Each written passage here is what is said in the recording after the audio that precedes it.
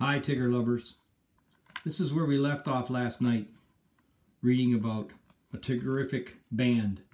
Tigger's trying to figure out what instrument he wants to play in the band, and he does not like these. He called them cymbals. They clashed together, and they gave him a headache, he said. So now we'll continue with the story. Here's the next page, and it is Pooh. In the meantime, Pooh found a wonderful instrument to play. He rattled a jar. Shake, shake, shake, that's the sound the maracas make, he chanted. Oh, goody, said Roo. Our band is almost ready. Tigger hung his head. But there's nothing for me to play, he said sadly. Well, we'll help you, Tigger, said Christopher Robin. What kind of instrument did you have in mind? And Tigger thought for a moment. Hmm, one that's uh, Tiggerish, he declared. Tiggerish. Okay, well, here comes. The friends looked from top to bottom of Pooh's house. Surely there was something Tigger could play, and Roo found two sticks to bang together. Too clickety-clackety, Tigger complained. Hmm. Well, Pig Piglet gave him a fireplace fan to squeeze. Too squeezy-wheezy, decided Tigger. And finally, Pooh gave Tigger his doorbell. Oh, too dingalingy, said Tigger. He flopped in a chair. Maybe there's no such thing as a Tiggerish instrument, he said with a sigh. Hmm, maybe there's not, but don't give up, Tigger. Suddenly, Christopher Robin smiled. Well, maybe there is something for you, but it hasn't been invented yet. Wait right here. Soon, Christopher Robin pulled up with his wagon to Pooh's house, and his friends came out to see the collection of old junk in a wagon. There was toys and broken bits and pieces of this and that. Look at all that stuff.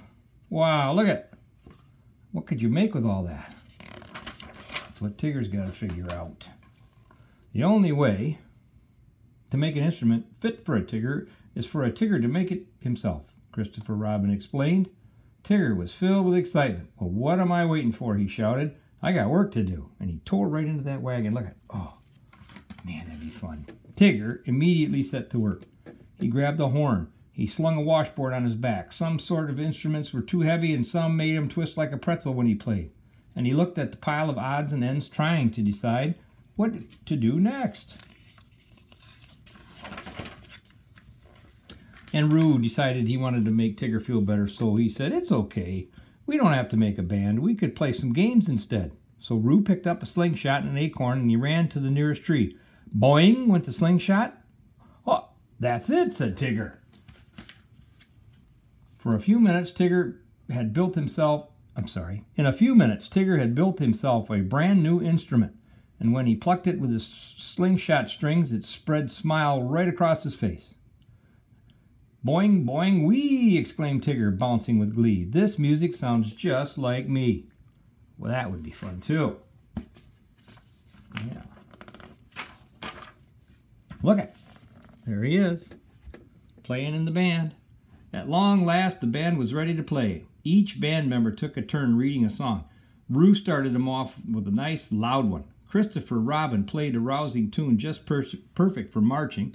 Piglet's song had everybody skipping about, and Pooh had and his shaker got his pals wiggling and giggling. Wow, that's a lot of stuff going on. When it was Tigger's turn to take the lead, he even sang a little tune. Round and round and do-si-do, music makes me tap my toe. Grab a partner, feel the beat, music gives me happy feet. Boy, everybody was dancing and they had a wonderful time. But nobody had a better time than Tigger, who finally felt the music inside and out. Oh, that was a good one. Now here's things you can do. You can make a band that is just as Tiggerific. You bounce your way back through the story and try to imitate the sounds that the instruments make. You can try your hand at playing a new instrument. How does playing and listening music make you feel?